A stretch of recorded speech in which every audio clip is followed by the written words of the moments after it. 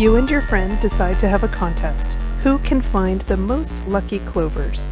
You get one lucky point for every four-leaf clover you find, but you subtract two points for every five-leaf clover you come across. You're a little faster than your friend. You can check 240 clovers per minute, while your friend checks 200 clovers per minute. You're very competitive, so you search like it's your full-time job for two weeks, for a total of 80 hours. In a field of white clover, one in 5,000 have four leaves instead of the typical three. One out of 24,400 clovers have five leaves. A. What percentage of clovers are lucky with four leaves? B. What percentage of clovers are unlucky with five leaves? C. At the end of the two weeks, how many points do you expect to have? How about your friend? Our strategy for solving word problems is to make a list of our knowns and our unknowns and translate the sentences into math language so we can find the relationships between them. So we'll go from English sentences into math sentences, also known as equations. Then we can solve for the unknowns. We know that 1 in 5,000 clovers have 4 leaves. We can convert that to a percentage. Sometimes people try to memorize a method for converting to percents, but they can mess up that way if they don't know what percent actually means. It literally means per 100. In other words, if 1 in 5,000 clovers have 4 leaves, how many would you expect there to be in 100? You set that up like this. 1 over 5,000 equals x over 100. Now solve for x, the percentage of four-leaf clovers. To get x on its own, multiply both sides of the equation by 100. x equals 100 over 5,000 equals 0.02%. Let's do the same thing for the unlucky clovers. Let's call that percentage y. 1 over 24,400 equals y over 100. To get y on its own, multiply both sides of the equation by 100 y equals 100 over 24,400 equals 0.004%. If you'd like to get more help on these kinds of questions, you can sign up for our algebra mailing list. We'll let you know when we have new lessons and training so you can level up your math skills. Find the link below. Now let's turn to the contest. We can figure out how many lucky clovers you should find how many unlucky clovers, and then sum up the good points and the bad points. There are a few ways you could set up this problem, but it's a great habit to write out all the units so you don't accidentally invert one of the conversion factors. This way, you can make sure the units cancel. This is called unit conversion, or dimensional analysis.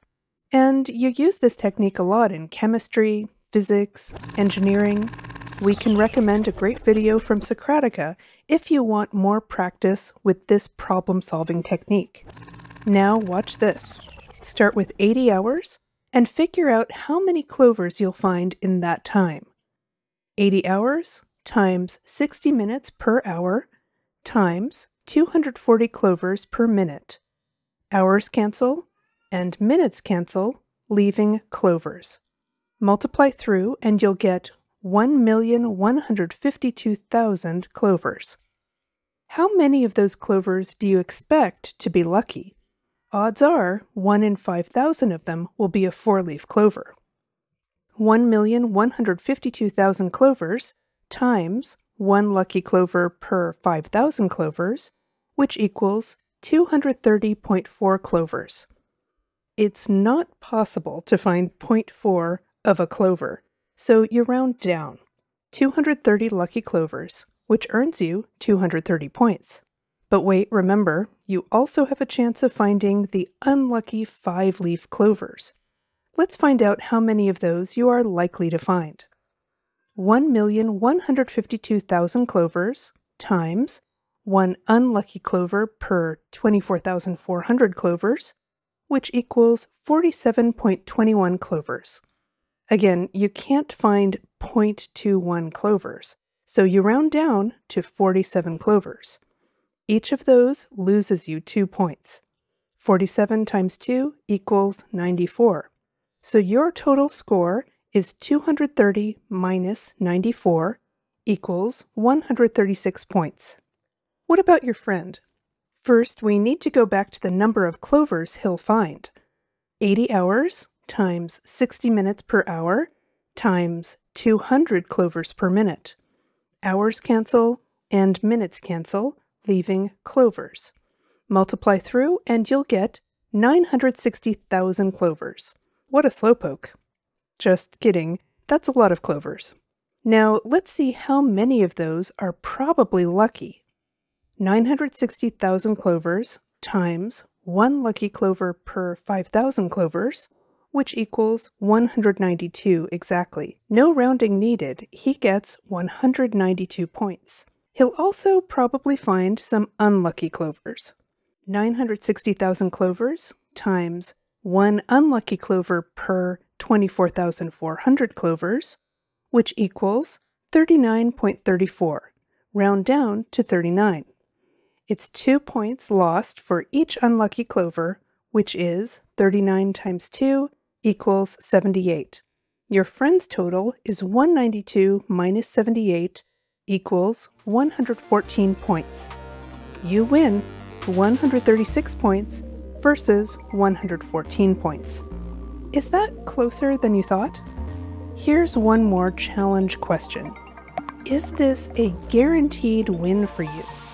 Think about if the odds mean you will definitely win. We'd like to hear what you think in the comments. If you want to be able to solve real world problems like these, make sure to subscribe to Socratica High. And if you'd like to receive personal emails about new puzzles like these, sign up for the Socratica High mailing list. Thanks for watching.